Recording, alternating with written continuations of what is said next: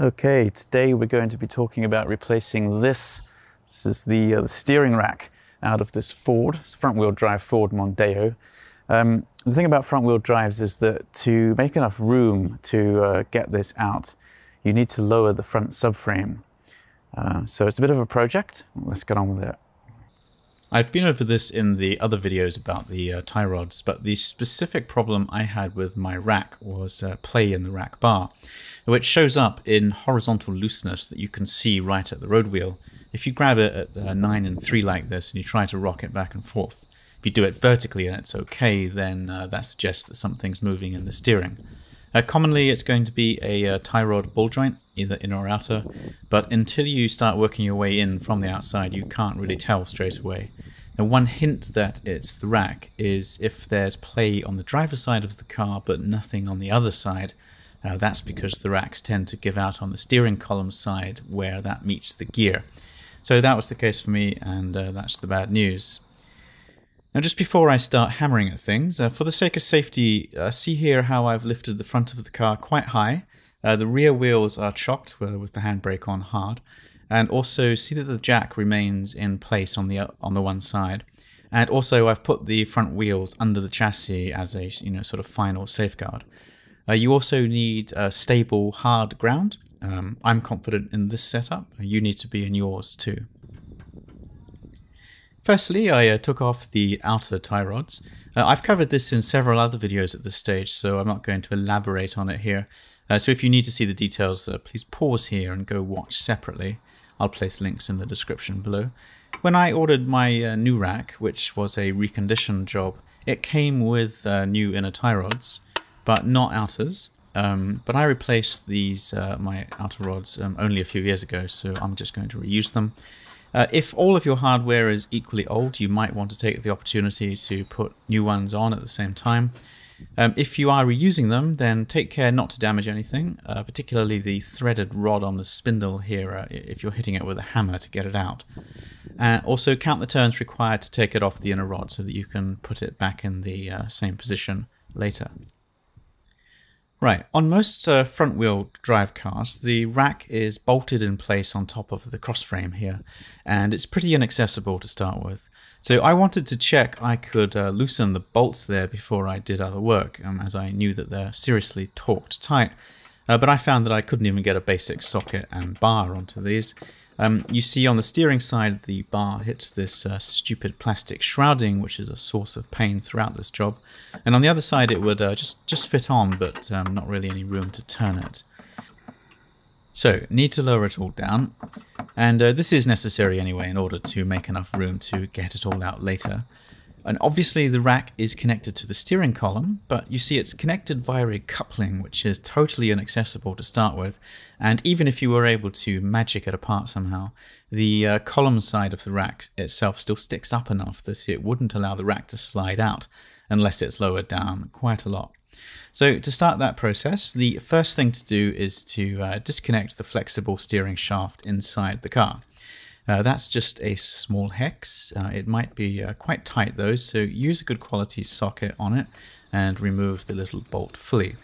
Once it's out, the shaft fitting is uh, hinged and it rotates away from the triangular stud, like so. And now the rack outside is uh, mechanically disconnected and can be lowered down. To do that, I'm talking about lowering the whole front subframe, uh, which is a little project as you'll see. To do it, you'll need to uh, work the big boy 21mm bolts in all four corners. Uh, this is one of the rear ones. Uh, they go straight up through the big bushing into the chassis. I did spray these with penetrating oil a few days before trying to turn them, um, as if you uh, Look online, you'll find many lachrymose tales of these bolts being seized in efforts to turn them, instead ripping apart the threaded bit inside the car, uh, after which they'll just turn forever and you, uh, you won't be happy because you will have to um, cut into the car from the top to get access to all that. Um, it also happens that my uh, jack handle makes a nice uh, cheap bar, slightly ridiculous, but it works.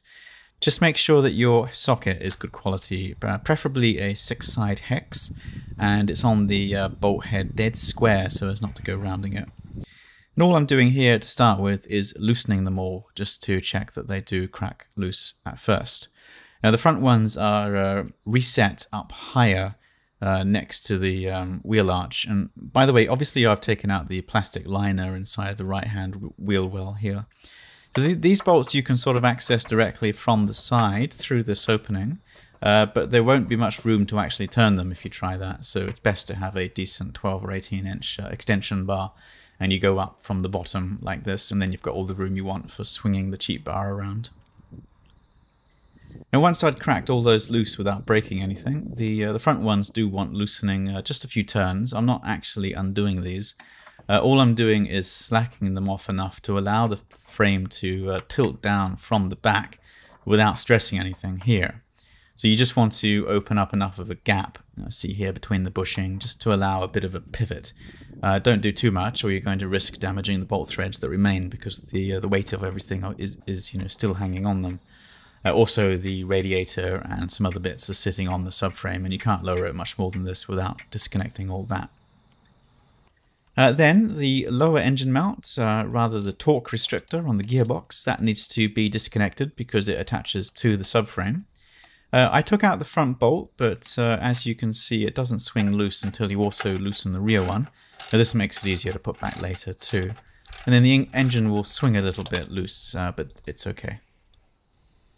And then the uh, the last step is to disconnect this plug, which is for the uh, downstream O2 sensor on the exhaust.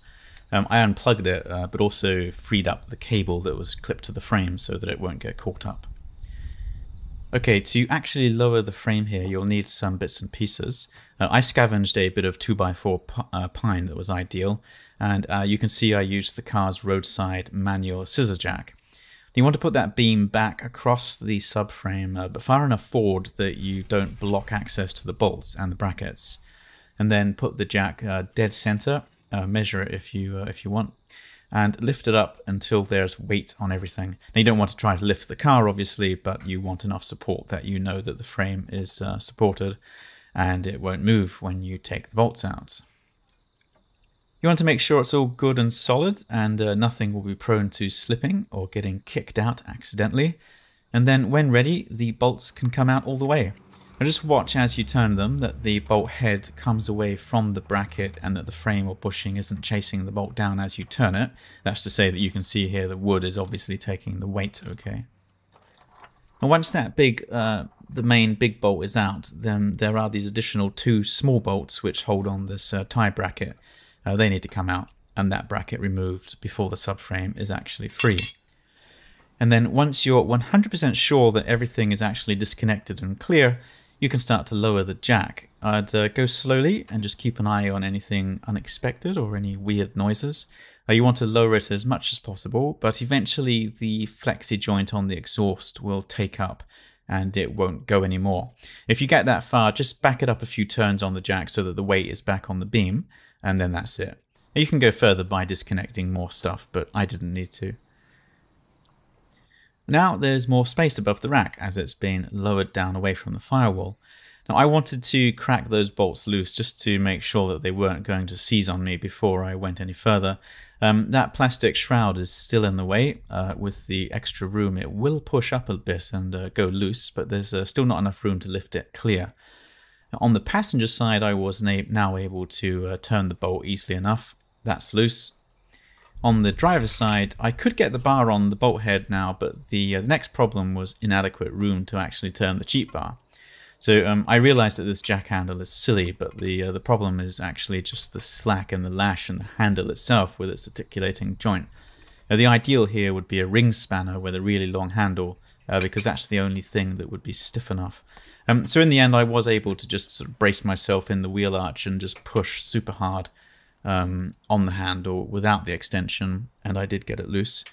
Uh, again, your challenge here is to keep that socket on the bolt head square and not let it get tilted as you uh, force it, because you can't um, you can't reach in and really get any counter force on it as you might normally.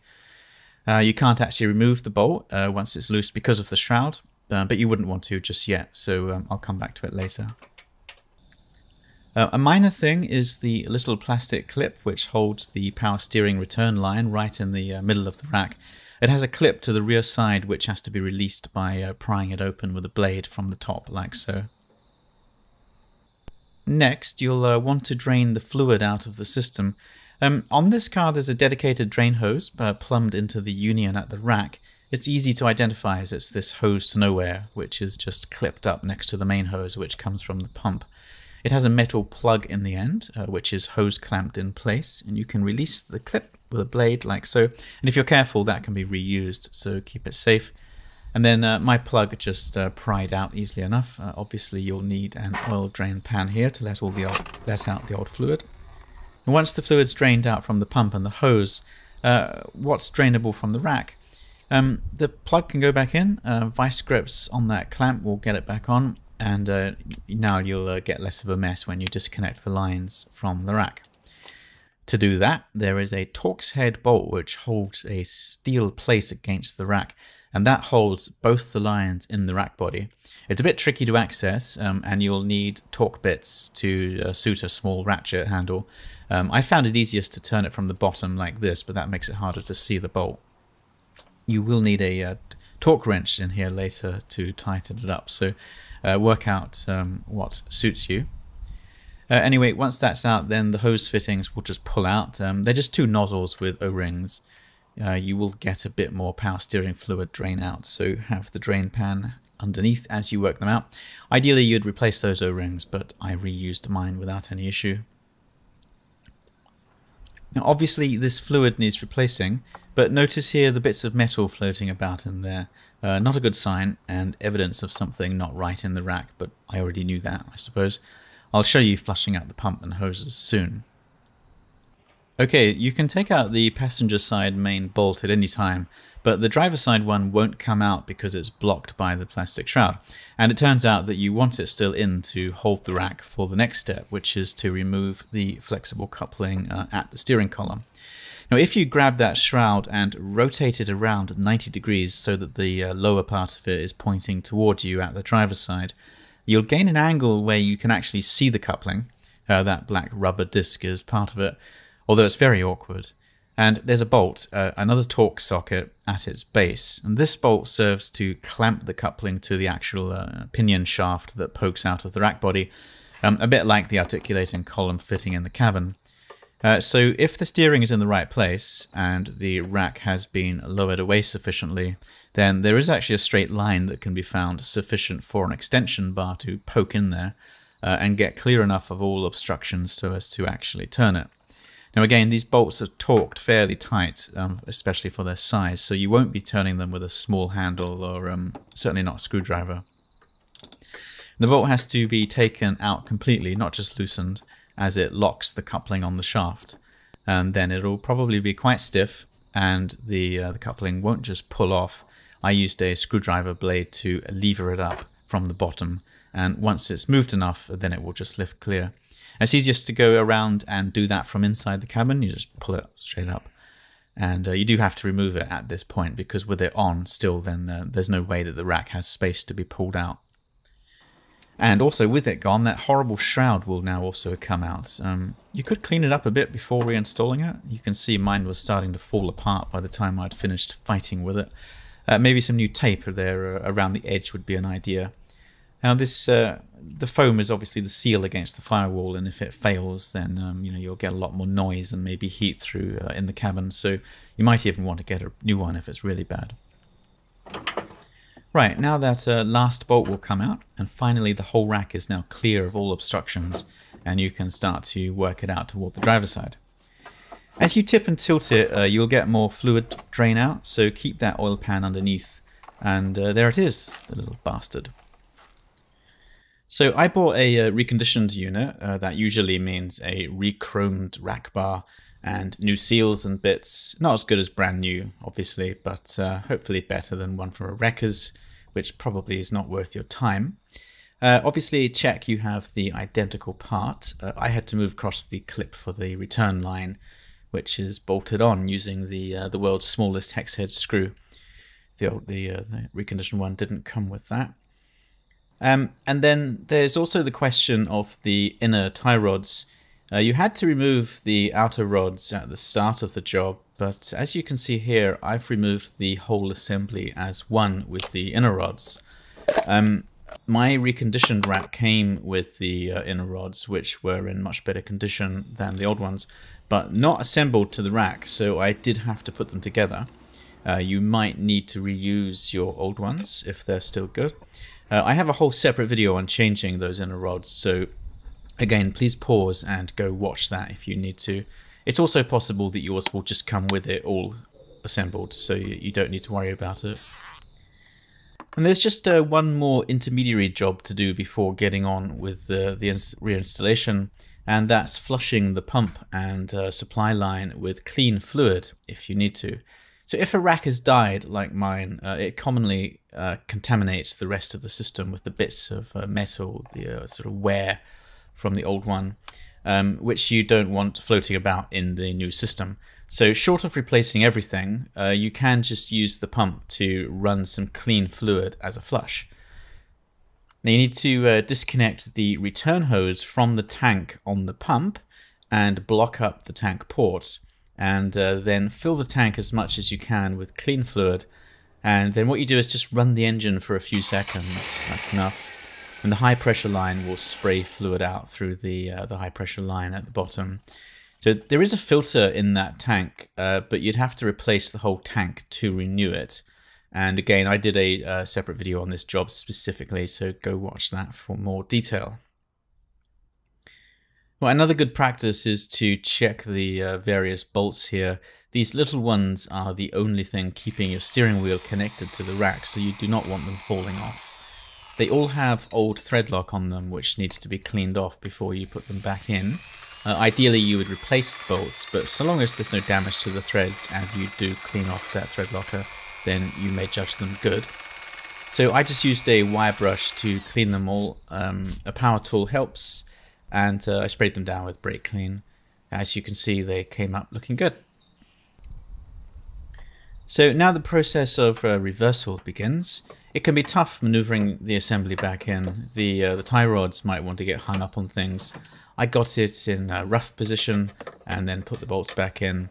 Now remember this uh, driver side bolt has to be in place before the shroud goes back on, although they, uh, they don't have to be threaded in just yet leaving them loose allowed me to uh, sort of rock it and move it around and make more room to get that shroud back on.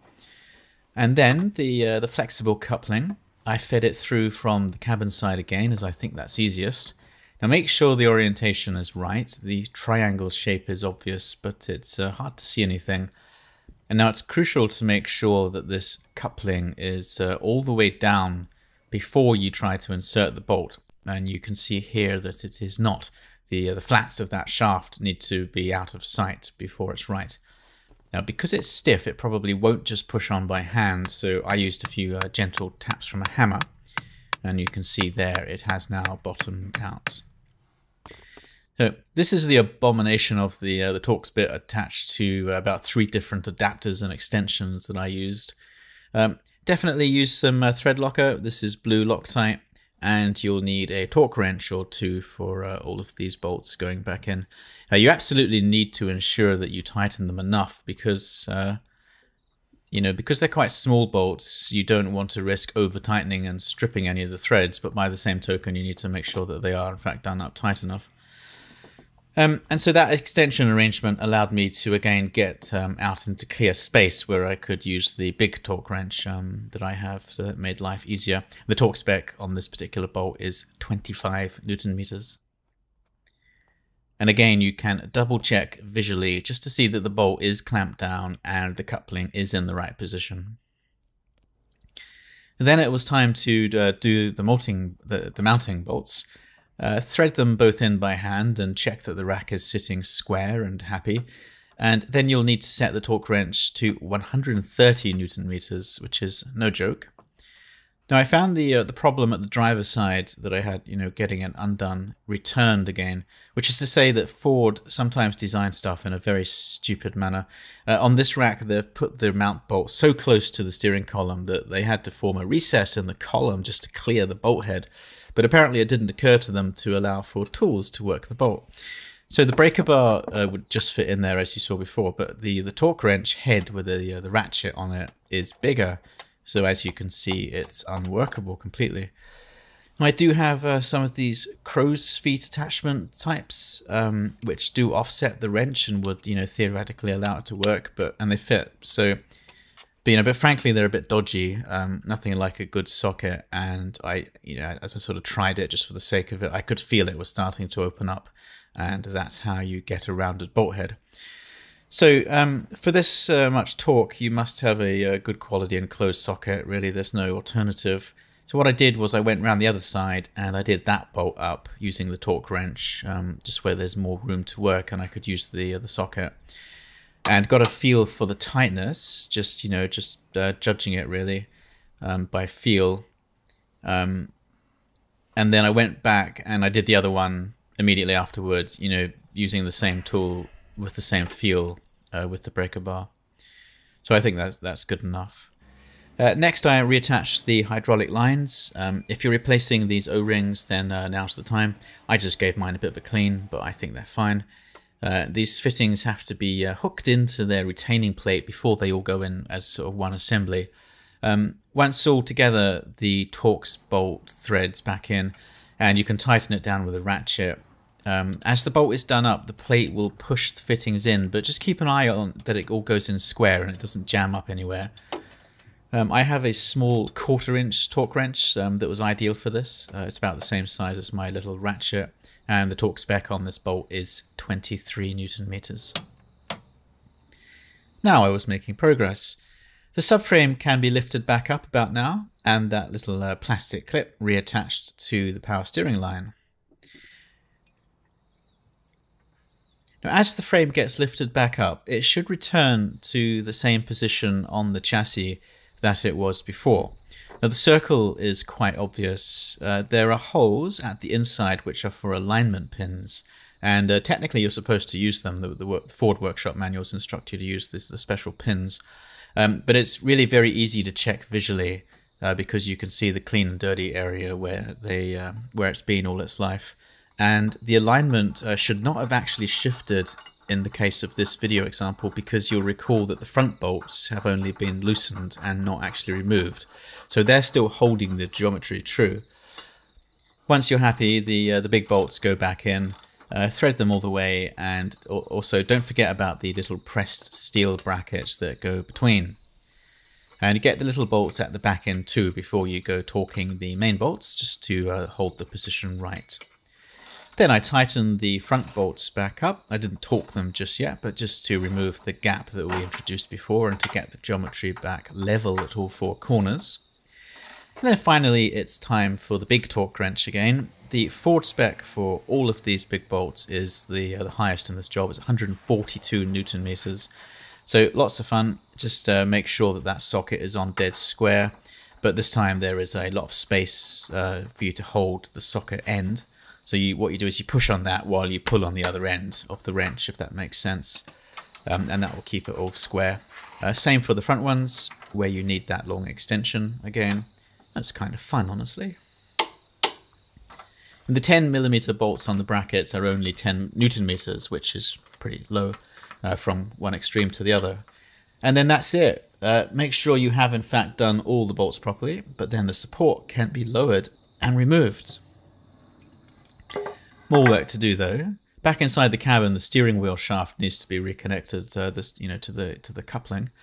Uh, before doing so, there's a maintenance job on these cars that involves lubricating the uh, the telescoping uh, steering. They, they, call it a compensator here with silicone grease. I did a video on that um, just years ago. If you're curious, anyway, it's worth doing it again while all this is apart. And to position it correctly, uh, you're supposed to use a 70 millimeter long spacer like this at the top half uh, because the articulating connector doesn't find its correct position on its own. So with it guiding the uh, the height or the, the extension, you can flip this connector back in place. And uh, by the way, the steering wheel should be centered and uh, so should the rack. Um, otherwise, this isn't going to work. Uh, so you could get yourself in a mess here, but yeah, I would have thought that's obvious. And then the bolt can go back in, uh, more thread locker on here, by the way, and uh, tighten it back up. It's a bit laborious because it's an awkward um, thing to access and you're clamping the connector around the coupling shaft, so it doesn't exactly do up by finger, uh, but you'll get there. And then at the end, the, uh, the torque spec on this one is 20 newton meters. Don't forget the other bits to reconnect. The restrictor on the gearbox has to go back in place. Uh, the torque on both of its bolts is 80 newton meters. Uh, don't do up the uh, the one before you've put it back into position and you're ready to tighten them both. And the downstream um, oxygen sensor plug, uh, I'm just using some electrical spray here to clean and coat the connector while it's exposed. There's not really any need for that though. And uh, clip it back in how it was on the subframe. Now, I needed to um, complete the fluid flush, and remember at this point I've plugged the lines back into the rack and I've flushed the pump side before I did that, but it still remains to flush the return hose a little bit. So if you're not worried about this flushing, then you can just skip this step. But if you want to see it in more detail, then again, I have that separate video, it's linked below. Uh, basically, that return hose, which I disconnected before, you, you can see I've shoved it into this soda bottle. And I'm just going to repeat the earlier step of running the engine for a few seconds. Um, see the clean fluid coming out into the bottle. That's uh, new fluid that's now made its way all around the system from the tank. And the only reason you can't run it longer is that the tank is emptied that quickly. Um, and then I started to uh, just turn the steering wheel um, and action the rack back and forward. If you do this with the return hose still disconnected, it's going to continue to sort of flush the system um, because you know more fluid's going to be coming out of that hose. But the main point of this is to bleed the new rack, which will have both uh, sides of it still empty of fluid, which is to stay uh, uh, full of air. So you need to do this uh, quite a few turns. It just turn the wheel gently, lock to lock, about maybe 20 times. What I did was I did it about 10 times as part of the flush, and then I drained the tank one last time, uh, put the hose back on, and then continued with the final refill um, and the engine running this time to so as to uh, make use of the pump um, and uh, you know start testing the whole system running under pressure. And I did the remaining 10, uh, 10 turns. You just want to have a look around the line connections and anything else you've disconnected, uh, not to mention the rack itself, um, at the uh, rack bar boots to check for any leaks. Mine all look good. So the uh, the last thing is to connect the tie rods back up. If you're using the same hardware, then it's enough to just turn them back on uh, the same number of turns as before. Uh, that won't be quite exact, but it's close enough. Um, otherwise, you would have needed to have taken uh, measurements um, of the the extension length. And I like to use some anti-seize on the threads uh, to try to ward off corrosion, and it will uh, make life easier for the alignment guys as well. Now the nut on the uh, outer rod tie spindle is the last job for the torque wrench. It's 40 newton meters on this one per Ford. And as to the locking nut on the inner rod, uh, it does need to be snugged up. The torque is 45 newton meters if you want to do it, but I wouldn't worry too much about it if you're driving straight to an alignment place uh, which you will certainly need to having done this work. And that's it. Test drive the car somewhere quiet and uh, check that the uh, new rack is smooth and that the power assist is working how it should. Um, also, keep an eye on the power steering fluid level um, and for leaks as you drive the car over the next uh, week or so. Okay, I hope that was helpful. Have fun out there.